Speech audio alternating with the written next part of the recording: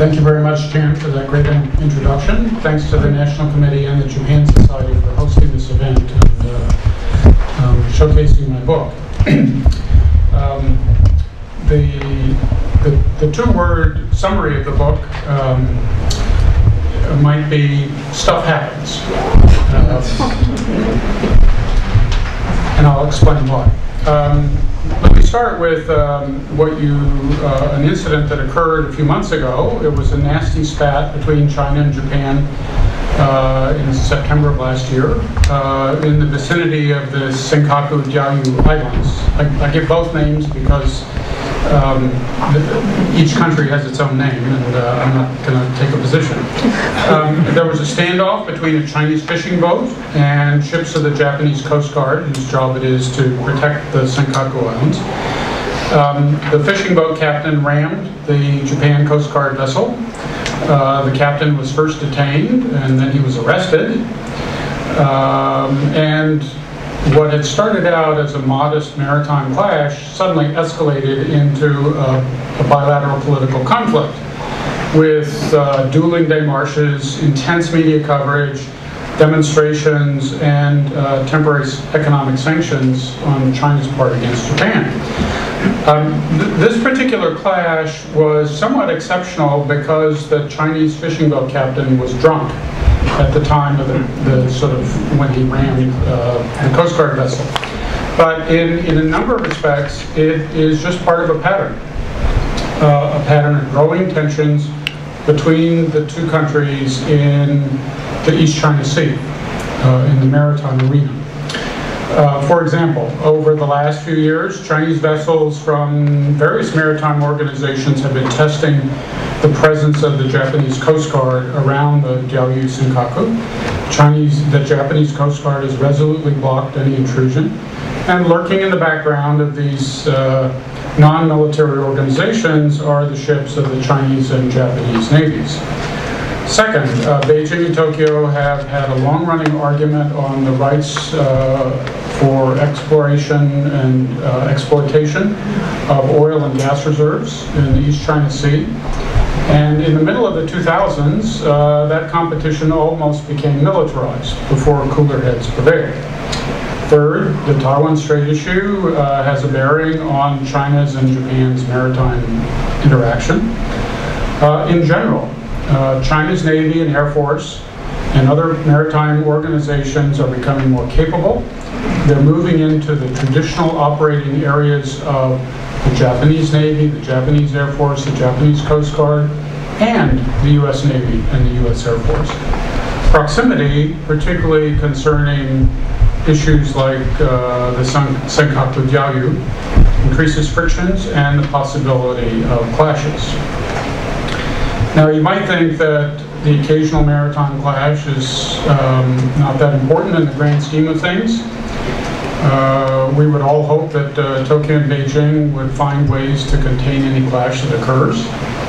Um, they certainly have reasons to do so. After all, um, uh, their economic relationship is, is very significant for both. Two-way trade is approaching $300 billion major Japanese companies have sustained themselves uh, by using China uh, either as a, a, platform for assembly and uh, production or as a market or both. Uh, however, and this is my second point, um, there, there's more going on here than simply congestion in the East China Sea among various uh, maritime vessels uh, and an occasional drunken trawler captain.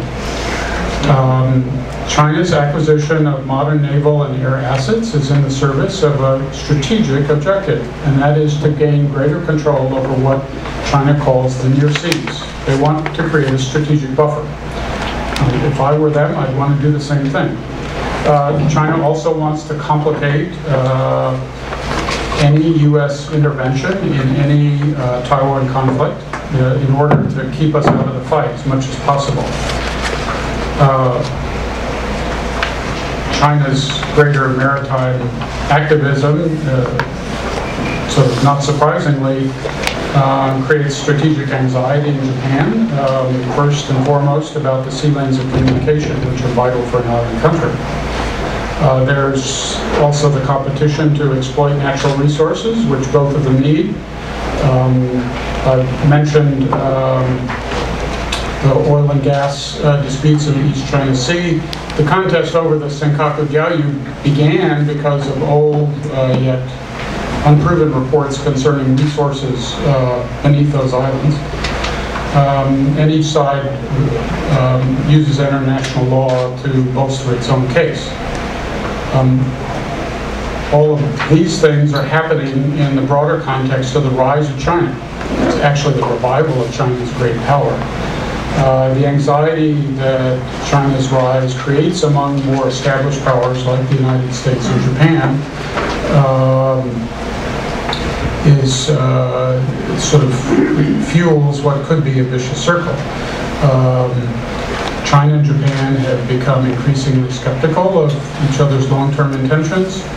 Each side looks to the future, but each remembers a certain aspect of the past. Um, with all this uncertainty and anxiety comes the temptation to hedge, uh, to prepare for the worst in spite of, of dense economic interdependence.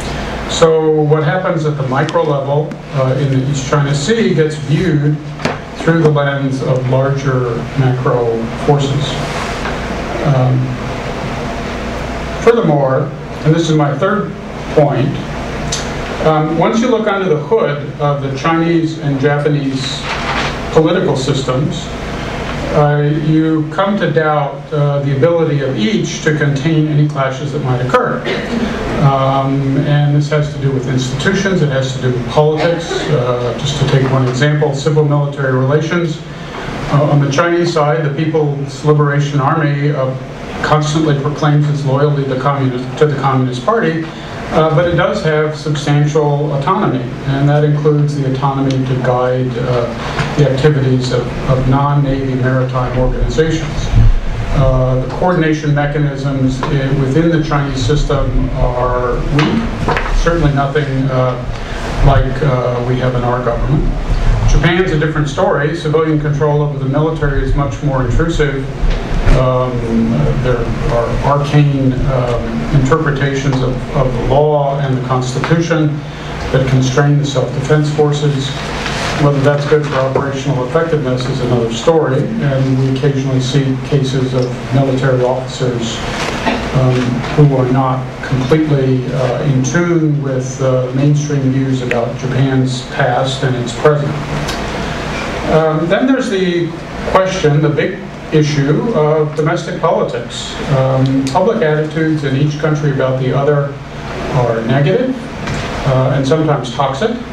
In China, this is driven by history and a narrative of victimization. It's also bol bolstered by uh, a long-running patriotic education campaign. Uh, in Japan, attitudes toward China were pretty good uh, in the 1980s and 1970s, but ever since Tiananmen, for a variety of reasons, they have uh, uh, become more and more negative. So in both democratic Japan and populist China, public opinion limits uh, the options of policymakers to resolve problems. Uh, Chinese nationalism is particularly a two-edged sword. Uh, it's directed outward at Japan and the United States, but also inward as well. So the regime is wary of appearing too weak uh, in the face of external problems. Um, there are a number of other ways in which structure and process of government decision-making can turn small incidents into mini crises.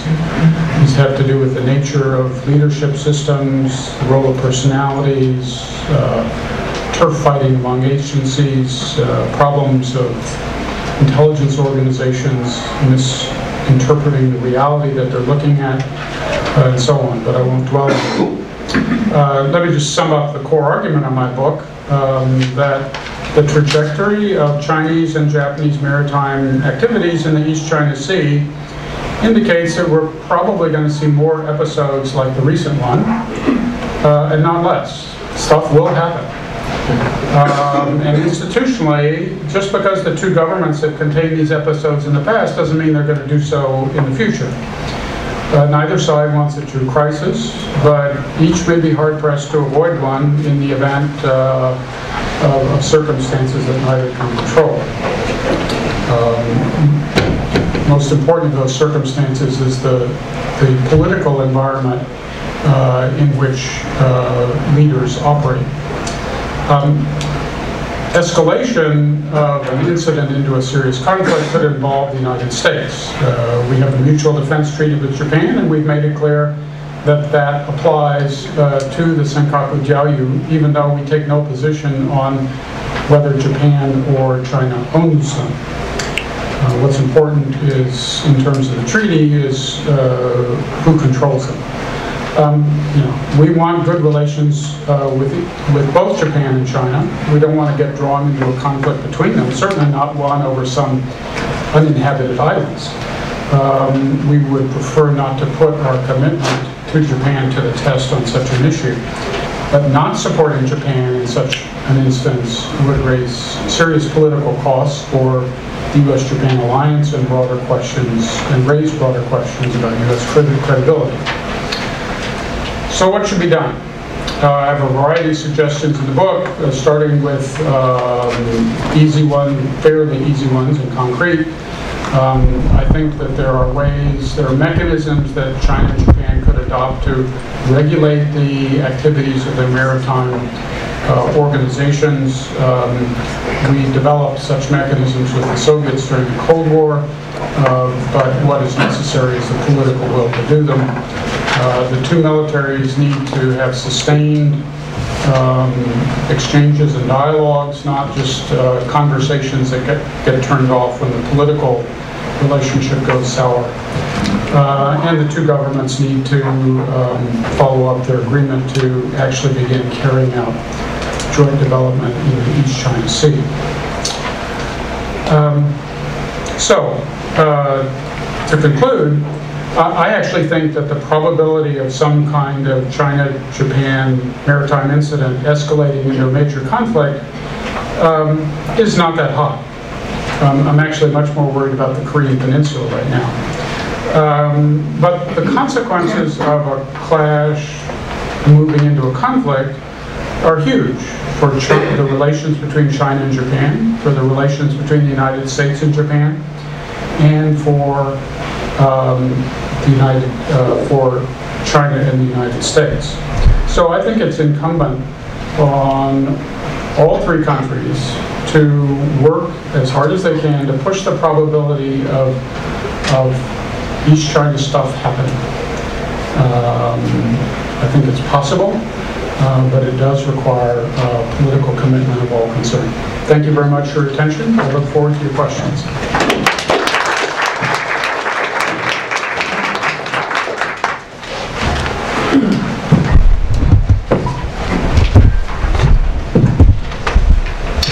First thing that I wanted to say is it's a fantastic book. Uh, unfortunately, I, I, it wasn't my copy uh, went to the wrong office and I hadn't gotten it yet. I've just glanced at it on the internet, uh, various pieces of it, but uh, the point that uh, it's very, very well written. It's, uh, I mean, coming out of academics, of course, I'm used to all kinds of poisonous prose and turgid analysis and uh, abstraction, but uh, this is very much to the point. It's easy to read. Uh, it's very, it's subtle in its understanding of policy problems, and uh, so I hope everybody, everybody will get a copy. that said, I agree very much uh, that uh, Richard has put his finger on probably the most serious uh, problem in the Sino-Japanese relationship, uh, namely the East China Sea and I think a geo ge geopolitical and a geographical approach to this uh, is quite new and quite fresh and quite important. It really is quite literally a matter of the perils of proximity. And we can see some of the issues that uh, may be arising in future uh, from the case of the um, Senkakus. That said, and here I want to be a devil's advocate on this because I suppose everyone else may be uh, pushing the other way. And having just written a book called The Making of Northeast Asia about the relationship of Japan, China, and Korea uh, that Stanford just published. Uh, I do, it's mainly oriented toward the economic side, but the, the changing nature of interdependence, the striking uh, interdependence, not only in economic terms, but also in diplomatic terms since the Asian financial crisis of 1997, uh, and the way in which Asian regionalism is moving increasingly from the very broad sort of patterns like APEC and so on to something narrower, in, including a coordination among these three countries. Uh, as if one uh, realizes the developments along uh, that dimension, the question of how general the problems that we saw so dramatically in the Senkakus uh, and uh, or Diaoyutai, of course, uh, were, uh, and how general the problem will be in future, I think is, is definitely one uh, that we need to address. This, the um, Diaoyutai Senkaku problem, as a lot of you know, happened, as Richard actually mentioned as well, happened in a rather uh, distinctive set of circumstances. Not only a, cap a captain that was wavering a bit, perhaps, but also a political uh, period in Japan that was very unusual.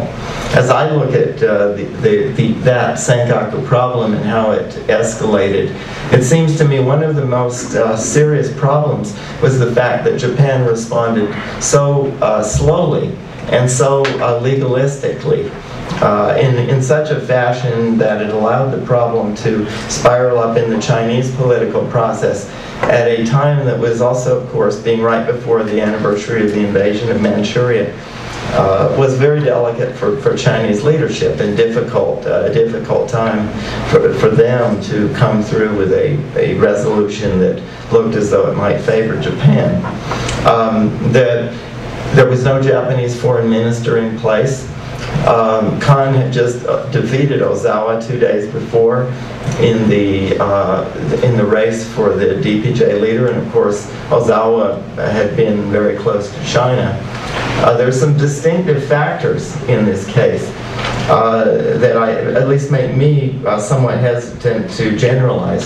There are also some very important lessons, and uh, I haven't read enough of Richard's book to know if he uh, deals with these, but uh, certainly no matter how you see uh, that Senkaku Diaoyutai crisis or the Sino-Japanese relationship, institutional changes in, in, in Tokyo for certain, and I would say, I don't know Beijing as well, but I should suppose in Beijing as well, in terms of conf, um, uh, conflict management and so on, are very much in order. To be specific, the crisis management team uh, that had to handle this very delicate uh, diplomatic issue between the two countries was headed by a member of the National uh, Police Force the kind of crisis management that Japan has been expecting and the way the institutions were configured out of the, Han, the Hanshin earthquake of 1995. And there, it's natural, you know, member of the police force, if you're expecting an earthquake, certainly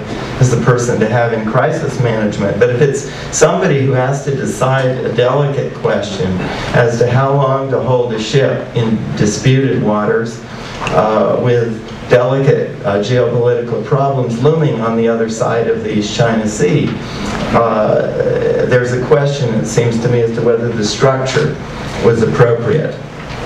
And going forward, of course, we have lessons uh, from this, this sort of uh, problem.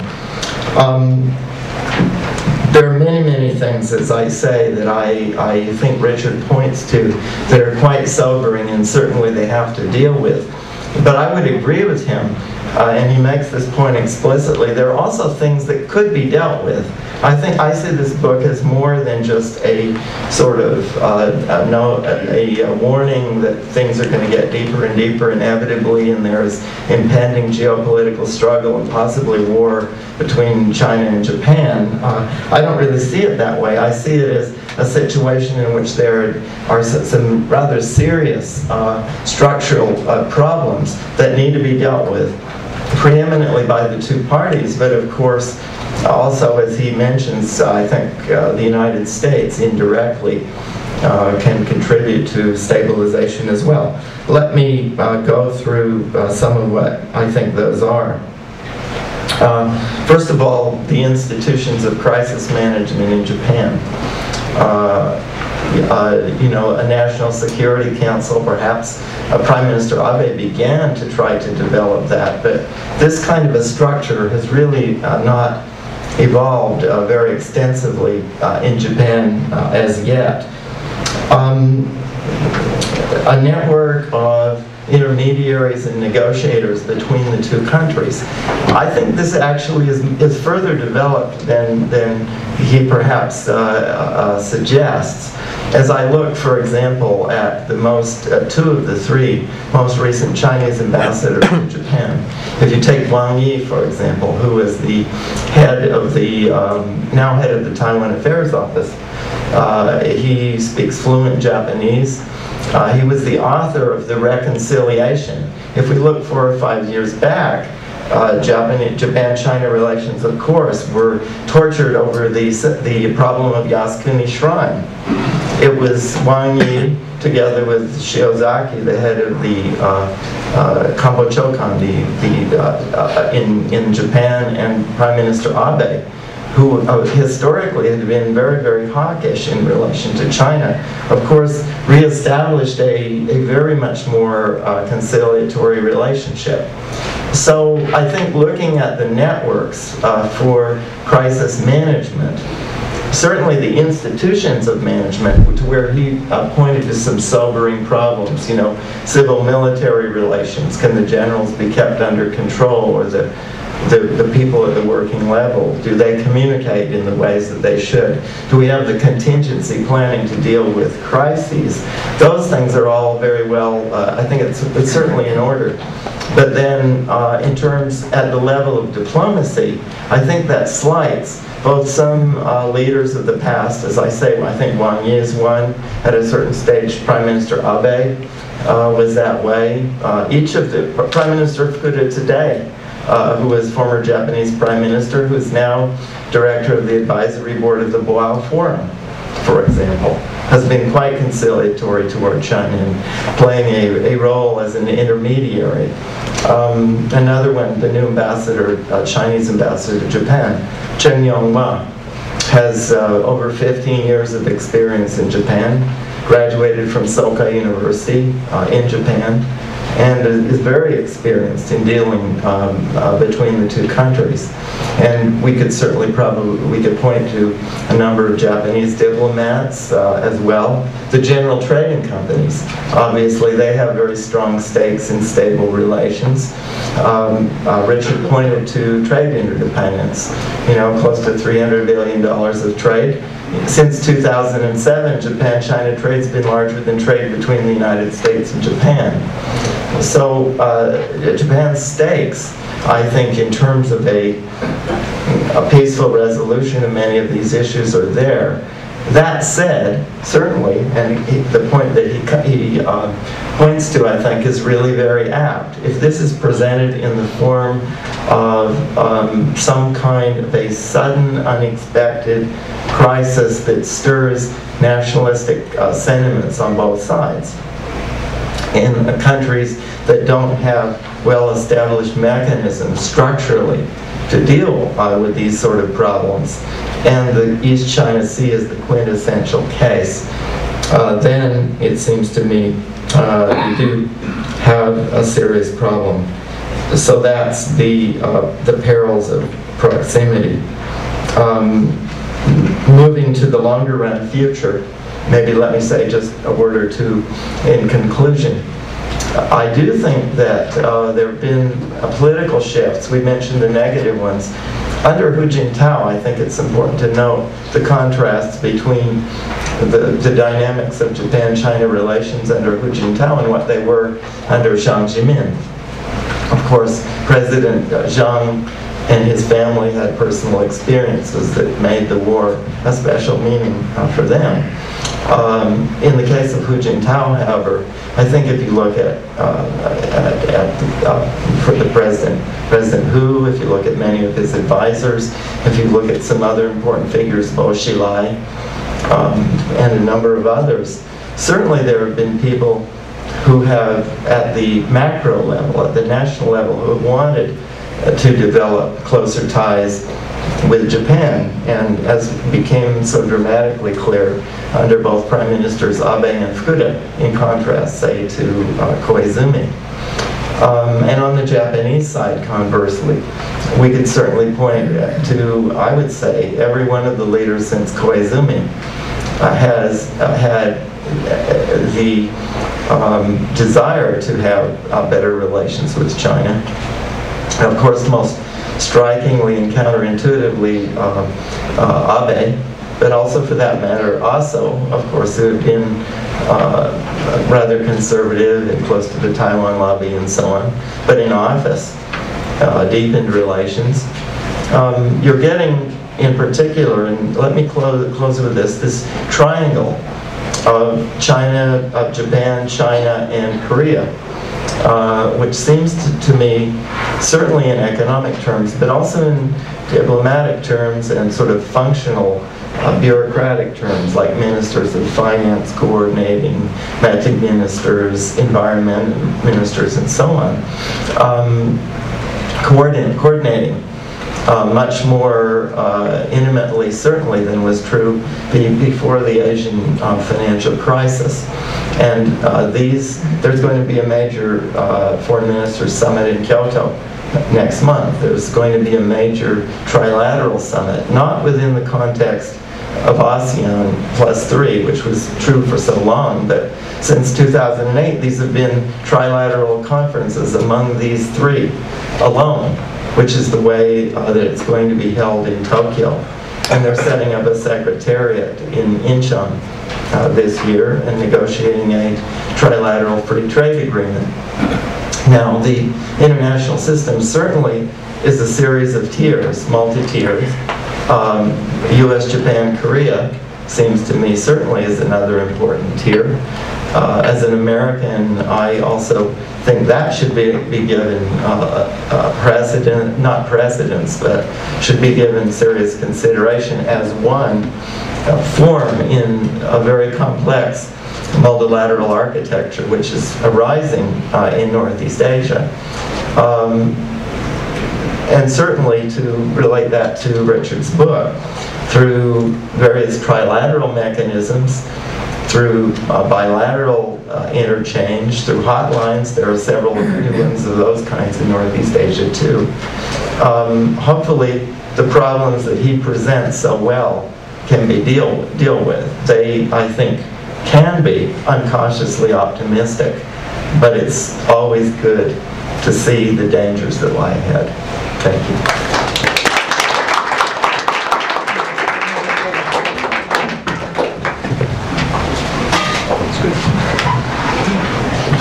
Well, good evening, and thanks so much for having me. It's uh, great to be here at Japan Society. Haven't seen Jan in a long time.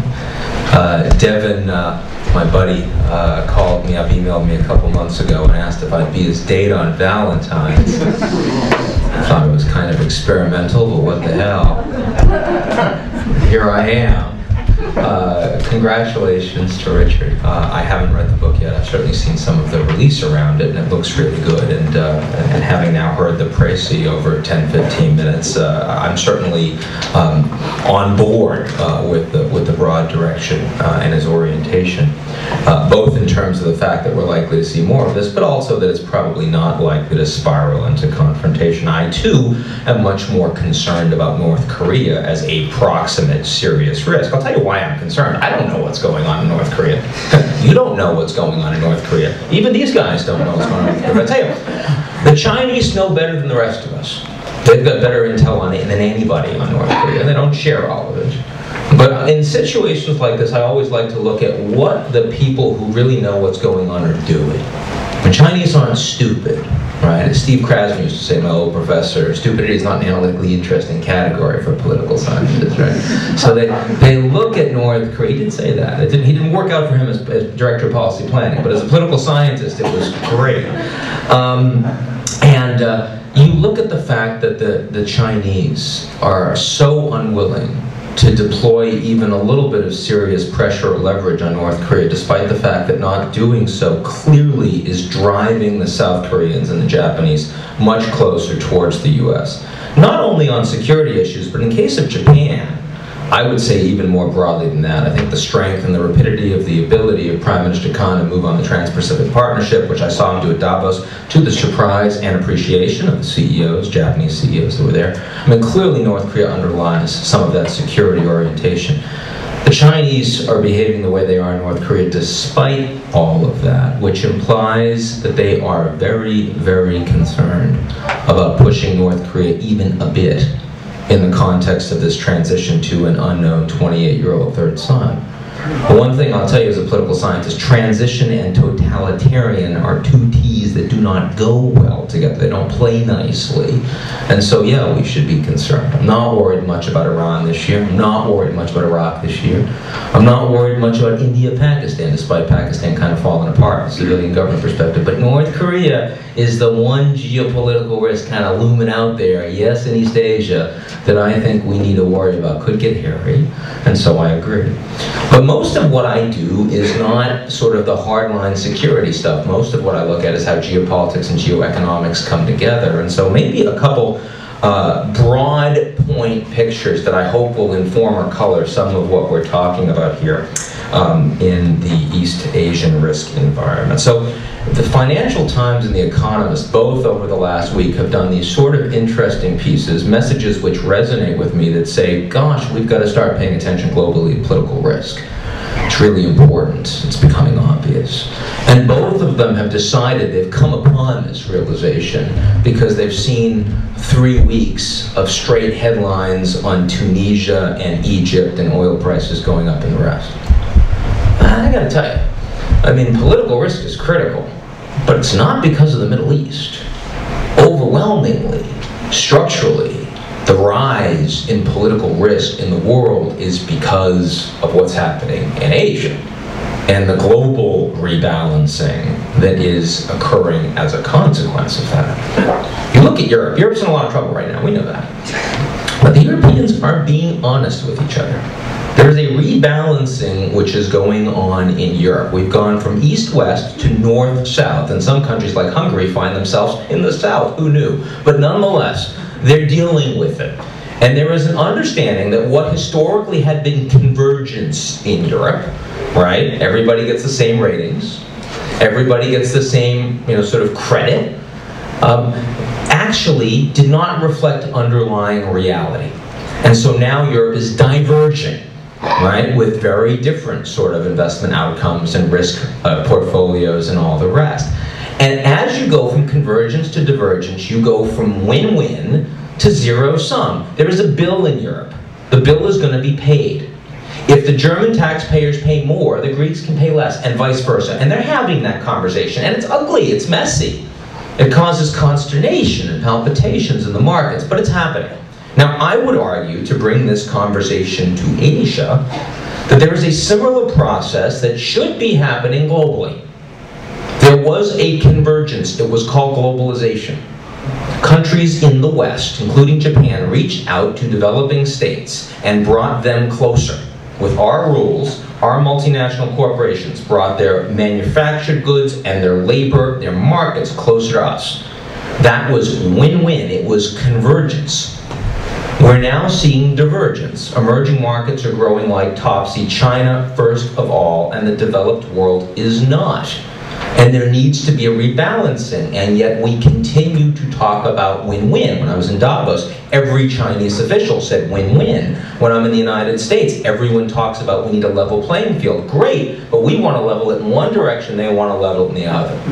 Now, to bring this specifically to Japan-China relations, I am concerned about the security side. But I guess I'm more concerned about the fact that security is increasingly becoming economic as opposed to just military. I mean, the one point that I thought was really interesting about the real, the recent flare-up between Japan and China was rare earths, and the fact that the Chinese thought that a good time to announce uh, a suspension of the export of rare earths to Japan was in the midst of this little blowup. Now, I don't know if you guys remember when CNOOC was trying to buy Unocal a number of years ago, and it didn't go through because Congress raised it and CFIUS raised it as an issue. But everyone thought of it as an oil issue. How many folks actually knew or remembered that Unocal owned Molycorp? Mom, hands? Molycorp is the largest producer of rare earths in the United States. Kind of meaningful. It's the reason the Chinese wanted it. No one was focused on at the time. I was talking Pentagon a few weeks ago, and I talked to them about this specifically, and they didn't know. I'm hoping it's just those guys, not the other guys, but nonetheless. 57% uh, of the world's rare earths are in Chinese hands, but they're going through them quickly, and they need more, and they're stopping to produce. Is that going to hurt Japan? You betcha, right? There is a sense. I mean, a lot of Japanese CEOs, there's no question, trade between Japan and China is picking up. But you talk to Japanese CEOs and ask them about the nature of the underlying contract, social contract between Japan and China, which is we provide technology, you give us market share, is breaking down. It's breaking down in the US, it's breaking down in Japan, it's breaking down in Europe. Why? Well, because the Chinese need increasingly much more sophisticated technology. Toyota was willing to provide a lot, but when the Chinese say, we want your drivetrain, Toyota says no, because that's the crown jewel. And then the Chinese aren't so interested in further inward Toyota investment in China, because what else are they getting out of it? Meanwhile, willingness to provide access to the Chinese market share and willingness to compete effectively with Japanese and Western multinationals around the world using support of Chinese state-owned enterprises and privately owned national champions, that goes up. And so in the United States, no matter, labor's been destroyed in this country for a while, and the lobby, the labor lobby doesn't matter much internationally except on a few small issues. But the corporate lobby matters. And the corporate lobby, overwhelmingly in the United States, has been, we don't care what the rest of you say. We're not looking at human rights. We're not looking at security issues with Taiwan. We want open policy with China because we can sell 1.3 billion sneakers to these guys, right? Pairs of sneakers. That's 2.6 billion sneakers. That's a lot of sneakers, right? And increasingly, we are seeing that that corporate lobby is gone. There's some people that still feel good about it, but there are a lot that don't. And Jeff Immelt, the new advisor to the White House is one of these serious skeptics who gave an interview to the FT saying, I don't think the Chinese think we can make any money there. They don't want us to. He then retracted that when he realized he was on the record. a little embarrassing for GE in China, but nonetheless. I was talking to Undersecretary Bob Hormats in Davos a couple weeks ago. We sat down and talked about this for half an hour. He said, expect to see industrial policy. That, by the way, if there's media here, off the record, right? But nonetheless, on technology, vs China. I have those conversations with Japanese CEOs all the time. They are concerned about this issue. So, yes, I'm worried about North Korea. Yes, Chinese military buildup, of course, is muscle flexing. But let's be clear. From my perspective looking at China, and I'm not the China expert here at all, but when the financial crisis hit, everyone in China, everyone in Chinese government realized that this was a real hit to the United States and its place in the world. There were two responses to that. On the military side, the response was, hmm, this is interesting. Let's shake the branches a little bit and see if any juicy fruit falls off. Let's just see how committed the U.S. really is to all of these historic connections and security ties in Asia. And let's see how committed American allies are to their relationship to the U.S. Don't go crazy. Let's just shake the branches a little bit. Just want to know a little more assertive behavior on the part of the Chinese military. On the part of the economic leaders, it was a very different response. It was, oh my God, our entire strategy is massively dependent on the West. We're going to manufacture all of this stuff to them. We've got immense exposure for US treasuries, and it's probably not sustainable. And we need to hedge and decouple quickly, or we're not going to have the economic growth we need to maintain our own political stability and therefore survival. Now, the former issue exercises us more right now, but the latter issue, I would argue, should concern us much more. Maybe it doesn't because we have two-year electoral cycles here and we have multinational corporations that have shareholders and look at short-term return, short-term compensation. But frankly, ultimately, it's the much bigger risk in East Asia. It's the much bigger security issue in East Asia. And as someone who looks at global political risk, that's the one I would suggest that we focus on. So that's like 10 minutes for me, and hopefully we can mix it up with these guys. So thanks a lot.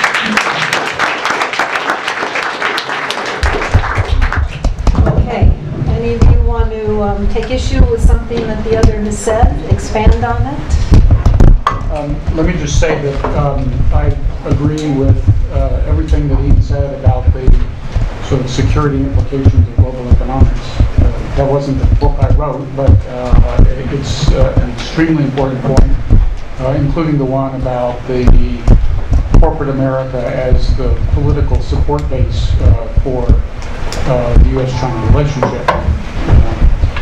Uh, With respect to um, a couple of Kent's points, um, um, clearly economic relationships are very important. Clearly um, intermediaries are important and dialogues are important.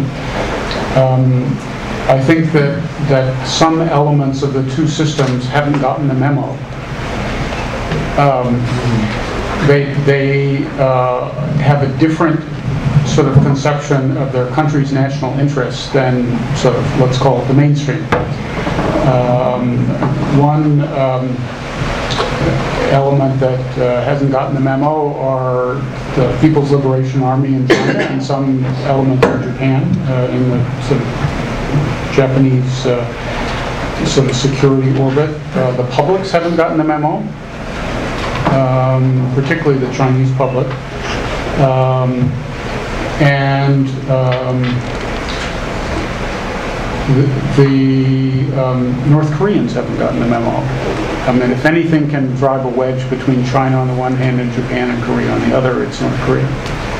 Um, so I mean, the, we sort of have a real struggle here for sort of who, con- who controls the agenda and who benefits uh, either by uh, sort of maximization of cooperation or something else. But I'd rather, Yeah, I don't want to, uh, to go on too long on this, but I, again, I would just uh, accent uh, networks, including a lot in the um, mil-mil communications area. In the last uh, five years, there's been, for example, the Koreans, uh, the the South Koreans and the PLA have a hotline, the PLA Air Force have a hotline. Uh, There are a whole series of new forms of uh, communication of that, of that kind. I agree with you. Uh, Populism, uh, the command and control, the inadvertent crisis, you know, that is certainly, that, those kind of things are really right at the heart of the problem. And perhaps just to add a word relating to uh, Ian's, uh, what you had to say about the uh, economic dimensions of security becoming more and more important. I couldn't agree more and more, more on that. Just one element that we haven't talked about between China and Japan, the growth differential. The fact, of course, just this uh, in recent days, uh, or this 2010 was the first year that um, the, Jap- the Chinese economy was larger in nominal terms than Japan. Of course, there's different ways to calculate this, but the growth differential is so huge, and it seems to be so sustained over time. Of course, this allows China to bid for resources in new ways along the lines, or to to, to, to hold resources of different kinds in new ways. So the, uh, you know, the, the economic implications or the security implications of growth differentials seem to be something that we shouldn't forget. I would just like a question, clarification. Um, And Richard, you and I have a mutual friend in China who believes that the fact that China does not have a National Security Council is one of the single most dangerous things that can, um, can have some severe consequences when it comes to this escalation and, and crisis management. Um, I thought that the Japanese do have a National Security Council a la ours, but what I heard you say, Kent, is that there really isn't one that's very effective. Is that the case? Well, it- And what's happening in Korea as well? It was set, there was one that uh, Prime Minister Abe uh, formally uh, set one up, uh, Koike Yuriko, who had been defense minister. She was the uh, national security advisor, but, you know, it just hasn't been institutionalized and the, the key ministries also uh, are adverse to this because that undermines the, the Ministry of Foreign Affairs, the Defense Ministry, and so on. So I think this is a problem. Uh, there is a better structure of that kind in Korea, of course, partly because of the, uh, of course, the, of this pressing national security problems they have. And that's right, uh, Richard makes a very important point. The, pre- the presidential system, of course, uh, much more institutionalized. Also, the National Assembly of Korea, just one house that can make rapid decisions. I think something that plagues Japan again and again is a very, very complex legislative process that makes action difficult and forces the ministers to always be in diet hearings and unable to travel internationally and so on. Well, we have a president, but we also have secretaries who are in cabinet hearings all the time, too, unfortunately. I mean, I would make the argument, I, I do think that it's an issue that the Japanese don't have the sort of public policy institutions, training to create a real cadre, professional cadre of strategic, you know, sort of outward foreign policy thinkers. The lack of a National Security Council, Koike was not exactly a strategic thinker. She was wildly disparaged when she got that position. She's not impressive on these issues in person. Um, but that's one half of the puzzle. I mean, the U.S. and Japan talk about, while the U.S. and China are talking about big strategic issues, even if we're not fixing them, the U.S. and Japan are talking about length of runways in Okinawa. It's remarkably tactical, right? It's not happening. And that's starting to change, but only starting to. But let's keep in mind as well, it's another issue. So we're moving from more security, hard security to economic issues. Japan has many. The United States has the Department of Commerce, right? The United States has the Department of Energy separate from the Department of Commerce. The, the ability of the United States to think strategically about business and industrial policy is, is incredibly limited compared to Japan. And in this environment, that's going to hurt the United States. So the lack of coordination actually occurs institutionally on both sides. Okay, anything else from what you heard each other say that you want to? Let's hear from the audience. Okay, so when we hear from you, um, I'll call on you, we'd ask you to please stand. Do we have microphones or is the room? Don't get me started. Wait for the microphone, give us your name and your affiliation if you have one and you want to tell us. Um, And please make it a question, not a lengthy speech. Um, I think those are my only instructions, right up here. Oh, and I, one other thing, if you have a follow-up question, if you really want to continue on, you can, um, just raise your hand again with two fingers and I'll try to call you. Uh, Is this on? Yes. Tom. Uh, Calvin Oba, student at Columbia. Um, The impression I get of the Japanese political scene at this point, uh, at least around NHK, is that uh, the politicians are more interested in infighting in the next election than they are in in the larger uh, uh, issues of the day. And uh, I get the feeling that uh, Foreign Minister Maehara uh, he was like a deer caught in the headlights in, in Moscow. It just it was pathetic. And I was just wondering what you make of the political situation painting the panel. I thought you were describing the United States when you talked about politicians uh, worrying about the next election and not. uh, um, I uh, I I tend to agree that the imperatives of sort of the political system and who holds power are deflecting Japan from making some really serious policy choices. Um, It's hurting Japan and it's hurting Japan's reputation. I think what we have to remember is the difficulty from the perspective of the politicians of foreseeing the future. It's very, very, uh, given the logjam in the upper house of Diet, of course, the DPJ doesn't have a majority there. There could very well, uh, the prime minister, we may, may see a change next month even. Or in the next couple of months. Uh, and there could be a crisis that could deepen that would force a political re- realignment. It's the politicians really don't know who they're going to be aligned from with, even relatively uh, short periods of time in the future. I think it's the uncertainty, this, which is rooted in the, the structural situation. You know, the lack of a strong presidency or a strong executive, the uh, complexities of the diet, and then a uh, political one-party dominant system in decay, as it has been for the last 15 years. So it's, you know, I, I mean, I've known Maehara for a long time, and I don't think in, in his private conversations you know, he's quite, he is quite strategic. And I think as Ian and several of the others know too, and Richard know, they know too, uh, I think the problem is more structural than it is intellectual. Yes, right up front. Mary Belknap, Foreign Policy Association. Mr. Bremmer, you mentioned that China is reluctant to take strong action against North Korea. Is that because they're afraid if the government falls, they'll pour in hordes of North Koreans to China? Or is it because they really like to have the thing sort of not settled in North Korea? Well, I, think it's it's hard to know um, exactly what they're afraid of, but it seems to me it could go one of two ways. Uh, one is that they're concerned um, that by pushing the North Koreans in the middle of this transition, uh, that they could destabilize the regime, and then you have all of the you know incumbent uh, refugee issues and the like, and they don't want instability. The second is that they could provoke uh, further, more serious provocations from the North Koreans. And I want to tell you, it's one thing for the North Koreans to sink the Cheonan, pretty bad stuff. It's another thing for them to shell a South Korean island several weeks before Hu Jintao comes to the United States for a summit. I mean, you want to talk about a slap in the face and we don't care and go ahead, put this on your agenda, doesn't matter. That is a big deal. That implies pretty strongly that Chinese are not actually telling the North Koreans which step to take. They did not get, the North Koreans, I agree, did not get the memo.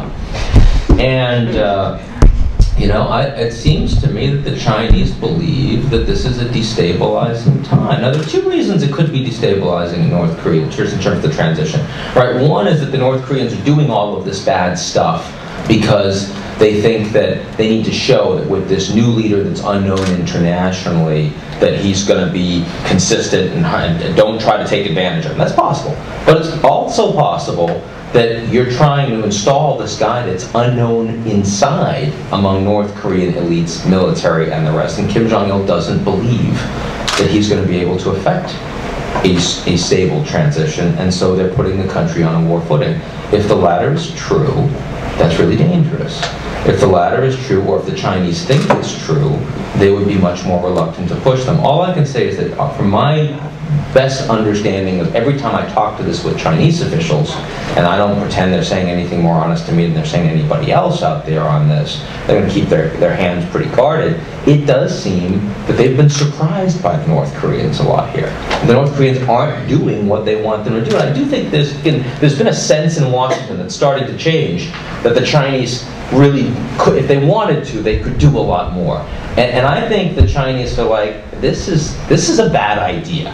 We really, I know you think that you want us to use this leverage. Actually, you're wrong. You don't want us to use this leverage because it could really blow things up. And, and the fact that we have a different strategic orientation, it's a little bit like the U.S. and Israel on Iran, right? I mean, there are analogs here in terms of what the Israelis are prepared to push to have us do, and what we're prepared to have the Chinese, you know, sort of same kind of concept. Richard, do you have? Uh, no, I think that states it pretty well. Okay, let's just go right up. The woman in the third row. Uh, it was mentioned a few times that it seemed unlikely that China and Japan would really, I suppose, come to serious blows over an issue in the coming years. Um, I was wondering, what kind of situation would you envision that could come to blows, and also what role do you think the United States would play in such a situation? Is that to anyone on the panel? Pretty much. Um, um, As sort of, I think we've, we've all suggested the um, more likely situation now is probably the Korean Peninsula, and you can imagine it in a couple of different ways. Uh, The first is that um, China continues to um, sort of tolerate North Korean uh, provocations against the South. But the South's policy has changed, or at least it says its policy has changed. And instead of absorbing uh, provocations, um, it seems like it's moving towards uh, responding with punishment. And so that creates the, the possibility of escalation. North Korea hits the South, the South hits back, North Korea hits again, and uh, it, it's out of control. Now, we understand that, the South probably understands that, and we're working on that. But, you know, if that cycle of escalation went too far, it uh, might bring China and the United States in. Uh, And if the United States comes in, uh, then Japan probably comes in too. And Japan is starting to talk with Korea, South Korea, about the role it might play on the peninsula. Um, The other way it could happen, and again, this is um, sort of low probability, high impact, is that the transition in Korea goes, in North Korea goes really badly. That despite everything that the Chinese have done, um, despite the hopes of everybody that it will be uh, sort of gradual and um, fairly stable, that it's not. That something happens inside that system.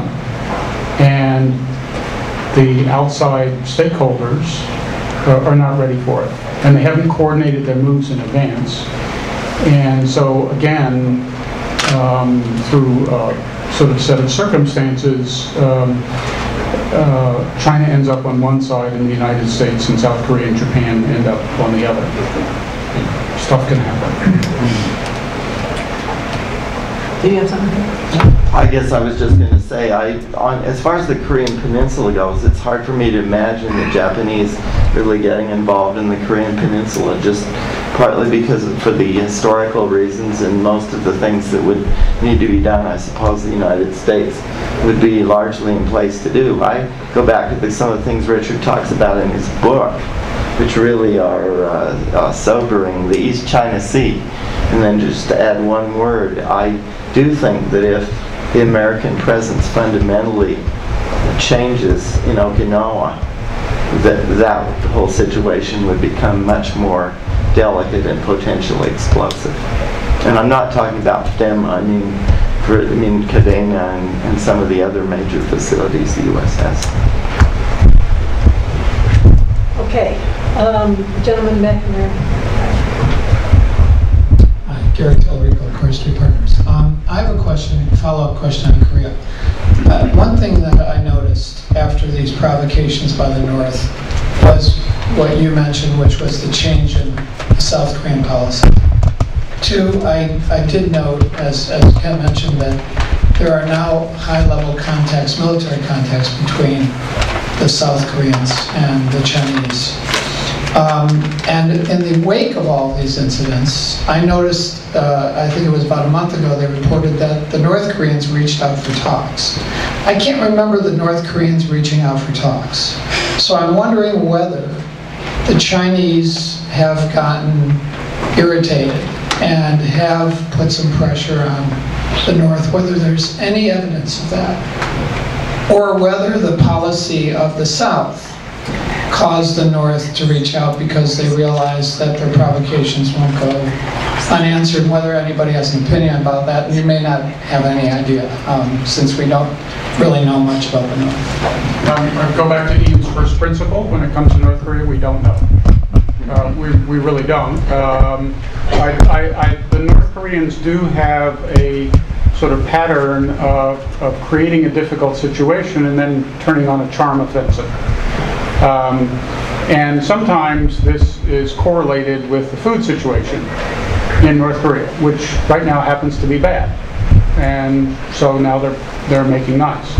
Um, I think that, that China, which has become the key advocate of, of dialogue and negotiations, uh, probably nudged the North Koreans uh, to, in that direction, and North Korea went into it with uh, certain standards and expectations uh, which could not be met. And so the, the military talks that um, started um, last week um, were sort of suspended. Um, so North Korea can say to China, we tried. Uh, and it's the, the South Korean traitors who are responsible for the breakdown. But we do know, part of this question, yes, we do know just from talking to Chinese friends and colleagues that the Chinese are irritated with the North Koreans. Oh, yeah, And sure. There's no question that part of your comment. Okay, let's start this part of the room. Um, let's end back and on the aisle. Nick was there? No, in front of Nick. Hi, I'm Richard Rades from Russell and Company. Uh, I have an impression that the PLA and the PLA Navy is in a fairly cocky frame of mind, and that they have their own agenda uh, that may or may not coincide with the political agenda of Hu Jintao and the other people running the political side of China. And I wonder if we're in line for some sort of an incident that might be more akin to the uh, naval ship Impeccable. I think it was a year and a half ago where the um, Chinese vessels almost uh, took that thing under control. It was, remember that was a small naval ship that was uh, um, surveying the South China Sea, I think. Uh, Is there any probability that this might be on the PLA's agenda without them telling anybody else about it? And is anybody doing any scenario planning either in the US, Japan, uh, uh, to deal with such a situation? Um, First point, um, I- I- the um, PLA Navy and the other sort of maritime elements in China are um, sort of acting in a fairly robust way in different parts of of the East China Sea and the South China Sea, or they have been. Um, I do not think that this is a separate PLA Navy agenda. Uh, I think that uh, this reflects a sort of thought-out um, sort of strategy or objective that um, the Central Military Commission has approved, and Hu Jintao is the chairman of that commission. How the PLA Navy implements that, uh, that policy objective, which is to sort of push out uh, China's uh, strategic perimeter uh, away from its coast, um, you know, that, you know, may be left more to them. My understanding on the South China Sea is that after the impeccable incident in March of 2009, um, you know, both sides cooled their jets a little bit. And so the recent things you hear from American officials is, uh, are that uh, situation's more under control um, than it was. Um, and, um, but PLA Navy does, you know, has been given a strategic objective and, and, uh, you know, that, uh, is sort of pushing them into areas where we operate. So we need rules of the road, uh, to uh, sort of regulate our respective activities. I agree completely, and I think we've seen this, and, and, and we've seen responses to this recently when uh, you had uh, Secretary of Defense go out to Beijing recently for those, the first in, in time they've had those bilaterals in quite some time. And then the Chinese uh, decided that they were going to do this buzz of the stealth plane, the, G, the J-20, I guess it was, at the same time. It was clear from talking to people um, around Gates' delegation that, um, that Hu Jintao's response at that point was literally one of surprise. Now, do I think that that was a rogue PLA element that decided they were going to embarrass you know, sort of the, the president of the Chinese uh, government at the time the Secretary of Defense was there to show the military strong? Absolutely not. Um, I think that, uh, that China's becoming more complicated. There are more moving pieces. I think things happen, and I suspect that some people lost their jobs on the basis of that. We're just not going to find out about it, right? I mean, in Israel, when um, you know Biden went out to talk to Netanyahu, And at the same time he was there, they made an announcement on additional settlements in the West Bank. Uh, people lost their jobs. The, the policy was in place. They were planning on being hardline, but not to have the announcement when Biden was there. It's complicated. There are a bunch of people, and sometimes they're not very well managed. And I think we see a lot of that because the underlying policy is let's be more assertive. That doesn't mean that you've got rogue elements that are doing crazy things.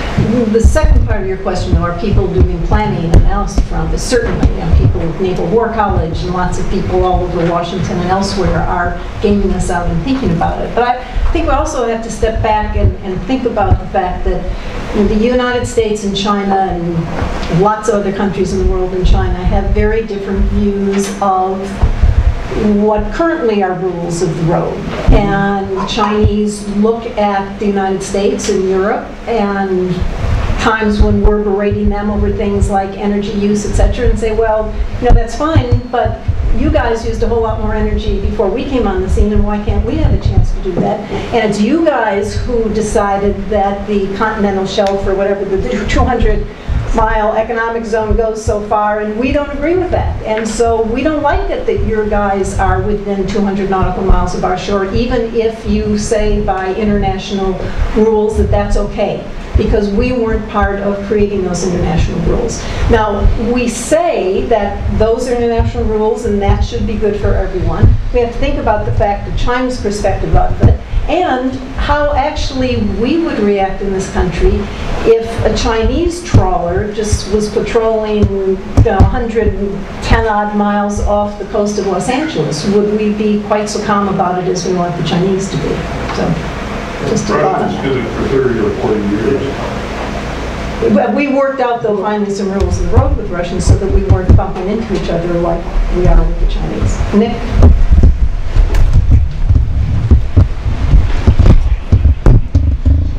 Ian, uh, Just introduce yourself. Nick Platt, uh, Asia Society. Ian uh, cited uh, globalization as a force for convergence, bringing us all together.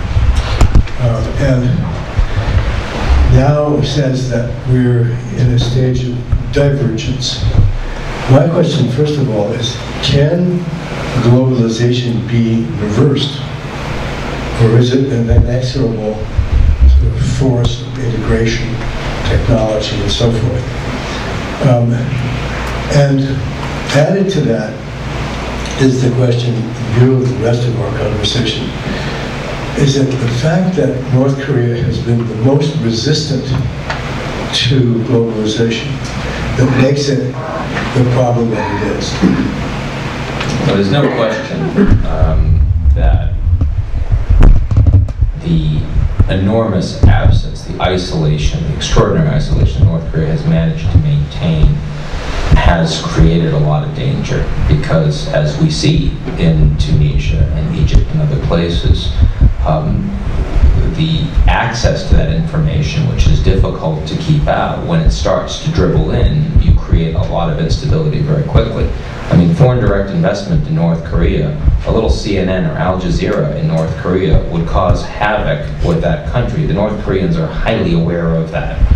So when a lot of people say, well, what you really need to do is reduce sanctions and just come in, that makes sense. Well, actually, no, because if you were to do that, the North Koreans are pretty savvy. You know, that they would immediately take steps to ensure that that doesn't continue. Kind of like the Cubans have historically when you had Carter and other folks that were trying to open up. They say, no, no, no, keep it closed, right? It's useful for them to maintain power. North Korea is by far the most totalitarian state in the world. It is the most, it is the country most threatened by globalization. Globalization is fairly inexorable. Now, you asked that initial question, which I think is really important, which is to what extent globalization can be reversed. Two points.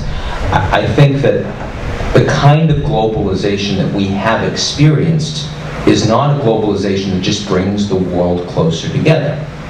As, as Jan said, and she mentioned on the security perspective, but the same argument can be made very strongly on the economic perspective. The Chinese believe that the globalization that we've been experiencing, the rules of the road, the sharing of the benefits, the industrialization, has benefited one set of actors much more than it's benefited the others because they've been the ones setting the rules. They wish to change that. That's going to create zero sumness. That's still globalization. You're still going to have all sorts of trade, but it's going to be trade oriented with different purposes under different rules towards different countries. And that's going to create different relative gains and losses. So I, I, I don't think that globalization gets reversed, but I think the globalization that we have driven and have benefited from, uh, probably to the greatest degree of anyone in the world, that gets reversed. And I think that's something we're going to be very uncomfortable with. Um, This gentleman over here in the background. Oh, I'm sorry, sorry. And- and- Just one, just briefly, it seems to me that we have a real semantic issue when we talk about globalization. There are all kinds of globalization. Just from the one uh, trip many years ago was a Kodal that I, when I was in North Korea. I was struck, so and you've got plenty of Syrians, Ethiopians, the shower of the Juche flame is a, has a brick from Brooklyn, New York. Uh, you know, there are different kinds of globalization in this world. Uh, uh, reversal, uh, very difficult, but attenuation. Is it even possible that the pattern of deep, in, deep interdependence that China has had or has de- developed with the world, that that could be transformed into something else? Of course, historically, if we looked at the Cultural Revolution, there was a period when that happened. The trade dependence on the United States is not what it was in 2002. There, there can be modifications and nuances, and there's a lot of different globalizations, I think. Stephen, uh, contention that for the next two years, maybe longer, we're going to enter a period of intense uh, policy and maybe even governmental instability in the United States, harder and harder to read. How do the nations, if, if that's right, nations you've talked about, read this, and how will this, this change in the United States, this period of policy uncertainty, how will that influence the, the, the uh, relationships that you've been discussing this evening? Well, just one quick answer. Uh, Those countries that depend on the United States for providing whatever uh, will look at our policy paralysis with dismay. Those that see a benefit from it uh, will try to take advantage of it. I would also note that we're not the only ones who are going through political transitions. Uh, China in 2012, 2013, they will do a whole turnover of their um, sort of political elite. Um, South Korea presidential elections in late 2012. Taiwan presidential elections in March 2012. Russia, I don't know what the month is, but that's 2012 as well. Um, Sort of everybody's going to be turning over, or most people are going to be turning over at the same time. I think, uh, I, I think that uh, there's actually not a lot of uncertainty about U.S. policy uh, looking around the world. Uh, Obama doesn't have a doctrine. Uh, Bush had a doctrine. You may not have liked it, but he had one. Carter, Clinton, Reagan, lots of doctrines. We're two years into the Obama administration. The guy's got a Nobel Peace Prize. There's no doctrine. I'm not saying that to be critical. I'm actually saying that because Obama's foreign policy is fairly clear. It is tactical and it is risk management. You want to talk about risks, right? I mean, we just saw this in Egypt. You know, do not get me over my skis. Don't get farther ahead. We might have to deal with anybody here. Don't go crazy, right? China. We just had the most important summit that the U.S. has hosted in 20 years between the world's two most important economic and political players right now. And with an enormous amount of foresight and planning, virtually nothing happened. And that was considered the best possible outcome, probably rightly, because things could have gotten bad. I, I, think there's a lot of, there's a reasonable amount of certainty looking forward on the U.S. over the next couple of years in terms of where foreign policy is going. I do believe that that is, uh, you know, comparative, not a lot of activity from the U.S. Um, and those are things that some countries will see as problematic, that want support, the Saudis, the Israelis, the Japanese if they start thinking about foreign policy. Um, though, though TPP, again, strong support for the TPP. Give Prime Minister, I mean, I got to tell you, I was sitting next to Yoriko Kawaguchi, former foreign minister, when I, when, when uh, Prime Minister Kan was giving a speech, right? And I mean, she would. I am used to you know the Japanese just hating Davos because the prime minister goes, it's on a Saturday, it's the last day to give a speech, nobody cares. This time around, it was like, pretty good speech, you know, reaching out, and uh, you know, let's let's work with the Americans. So, look, he may not be there in four weeks, so who knows? But but and, and, and I should I should never get excited about Japan strategically. I know that is a, it's, it's just I'm young. It's an it's, it's an occupational hazard. But but I, I, I think uh, I, I think there was something there this time. Right, right. Back. Uh, Tristan Zhang, uh, Helix Capital Partners. Um, my question is regarding the recent developments in the Chinese advances in the uh, high-speed railway systems. They have decided or are in discussions to uh, negotiate deals with other Southeast Asian countries such as Laos or Thailand. Um, how does Japan plan to react to uh, to these set of events, or do they feel challenged by this? Are they going to uh, compete for leadership in the uh, in the Asian areas? Thank you. I think uh, definitely regarding high-speed rail, uh, of course Japan has some of the best technology in the world. It's a, it's a different sort from uh, uh, European, uh, very much oriented toward fail-safe systems, computerized. Uh, there haven't been any accidents at all, of course, on the Shinkansen since it was founded in 1964. Yes, METI um, Foreign Minister Maehara is personally quite interested in this. Uh, right across the government, there's a lot of interest in this, and uh, putting JBIC money um, in particular into it. Yes, I think they do plan to compete. I think they plan to compete too, but I think there's an awful lot of concern um, about the fact that the Chinese government has been able to grab technology and expand dramatically what their capacity is. Arnold Schwarzenegger, who, you know, in California, they want to have safe trains, but he was over there saying, oh, these, these look really good to me. And I mean, you may have seen, speaking of rail, right? I mean, the Chinese government now making these announcements with Colombia, U.S. backyard, right? We want to do a rail link, you know, sort of to, to uh, compete with the Panama Canal. You've already done the narrowest point, so let's do the widest. Interesting state planning. But none, nonetheless, right? I mean, clearly these are game changer type investments as they occur. And, you know, we talked about just how, Kent talked earlier about just how dramatic the economic changes are occurring. Japan's economy is growing roughly zero. The Chinese economy is growing at almost 10% a year, and the state's directing this investment still overwhelmingly towards infrastructure. So if you think that your question is relevant today, it's going to become exponentially more relevant in three, in five years' time. And a lot of corporations are still thinking in shorter time horizons. Boeing, Boeing three years ago, we're going to sell, three years ago, we're going to sell 50% of our planes, but 20 years to the Chinese, right? Now they've got a 737 that's not going to be able to compete in 20 years. Think how quickly that happened, but that's what happens when you have shareholders that report every quarter. Now the Japanese aren't quite that bad, right? But still, they don't have the level of being strategic that the Chinese do. Now, the one thing that works eventually against China on this front is that the Chinese, like everyone, globalization, are increasingly captive to constituency. I mean, they're not going to start having democratic elections, but they do have to pay more attention to what their constituents want. And ultimately, as China becomes itself more globalized and more urbanized and more educated and more transparent, it means that the Chinese government will become less strategic. They'll become less, they'll become more tactical, and they will less be able to devote those sorts of five-year plans. That's interesting. Will probably undermine a lot of what over there, those two questions, and then the third, and then that's going to be it. Short questions. Please. I want to get all of you in time to see you now. Yes, quite to the point. I'm Henry Bush, an independent economist and teacher. Um, considering the truly important strategic role of the United States in the defense of both Japan and South Korea, as the Chinese Navy expands and becomes more uh, solidified in the near seas, what should be and what are the options for the United States naval in terms of naval power, please? Thank you.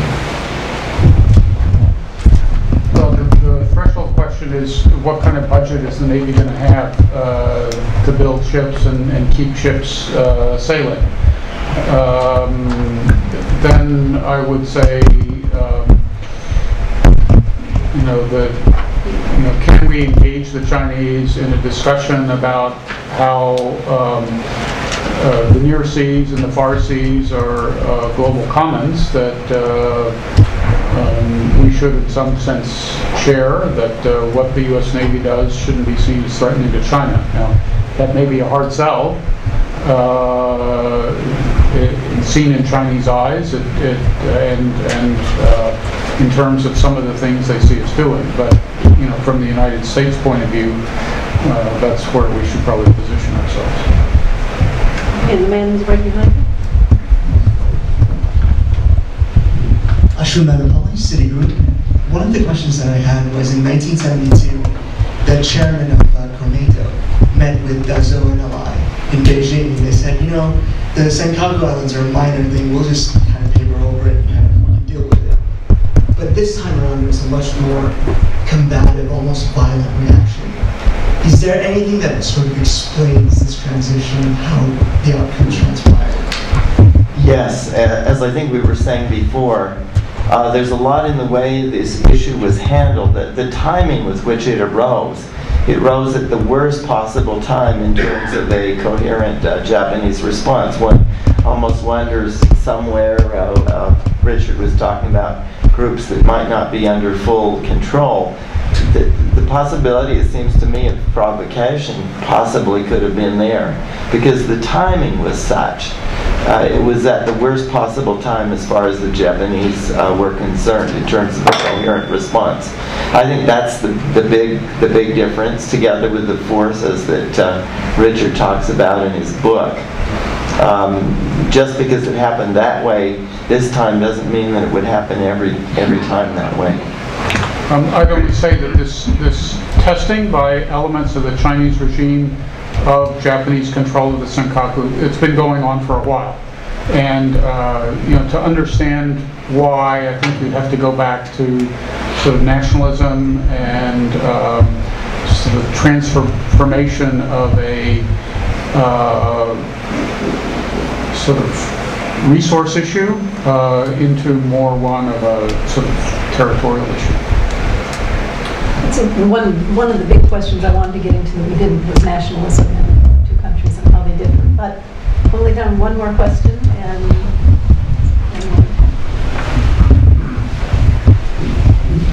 Sharon Chang, August Capital. Um, I was wondering if there were any particular incident that happened between China and North Korea that's constrain, constraining China from putting pressure, um, you know, North Korea now, or is that more of a function of its current region? Um, August 14th, 2008, Kim Jong-il stroke. Um, you know, that um, sort of raised huge uncertainties about the future of North Korea, uh, its stability, uh, its preservation as a strategic buffer for China. Um, and uh, it, it, increased the sort of management task that China saw. Uh, I mean, it, it, believes it has a way to get from here to there now, and it, it means sort of supporting this regime more than it did. Uh, but that's the sort of the the event that triggered the current set of uh, current trends. Okay, and Ian has something to say about nationalism. Sure. Uh, just, I think it's an important issue, and so I'm glad you raised it. It, it links in with, with um, what Nick had to say about globalization. Uh, so, so much of what we've seen, this notion that the internet and the rise of social networking and communications revolution is democratizing and creates liberalism. And part of the reason we believe that is because the folks that it hit initially were folks predisposed to that in the developed advanced industrial economies and elites urbanized elites in the emerging markets that were most oriented towards that themselves. That's now changing. And these technologies, this globalization is hitting everyone. As it does, you realize that it's not that the technology inherently makes you a liberal, it's the technology inherently empowers individuals to say more of what they want. I mean, you give the Israelis and the Palestinians a lot more technology, they will make it much louder internationally. that There are some real problems with their narratives and that they don't like each other very much. And I think the issue in, in China and Japan is precisely that a lot of these underlying problems are real. A lot of this zero-sumness is growing. And the potential that as you see more globalization, that it's not the Chinese regime that's threatened, but that rather the nationalism turns outward. There are three options, right? One is the Chinese government is able to create more openness, manage that, and channel it in a way that's more international responsible. More likely if they can hold off until they become much wealthier. The second is that it starts to really destabilize the internal Chinese regime. The third is it is externally directed, right? In Egypt, that wasn't going to happen. Right? I mean, Israel wasn't even mentioned as a concept. One of the most interesting non-headlines that over the last three weeks, no one in Egypt talked about Israel. How wonderful that that. How wonderful. How non-violent. Could have gotten a lot worse. In China, that is absolutely unclear. So interesting. Okay, it's 7:30. We're going to let you go off to your Valentine rendezvous. Please join me in thanking.